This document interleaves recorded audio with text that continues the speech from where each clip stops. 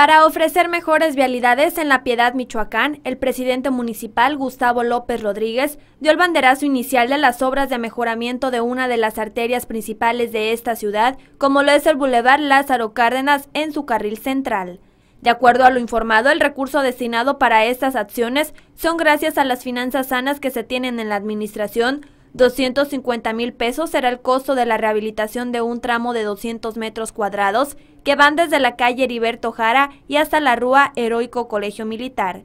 En el lugar, el primer municipio López Rodríguez dijo que estos trabajos tienen como objetivo poder ofrecer a los ciudadanos mejores vialidades que favorezcan el traslado cuando realizan sus labores cotidianas. Por su parte, el titular de Obras Públicas, Emir Peña Guillermo, señaló que las tareas que se desarrollan en esa zona de la ciudad constan de levantamiento de asfalto dañado para después realizar un compactado de la base y concluir con una capa de 5 centímetros de espesor de nuevo material.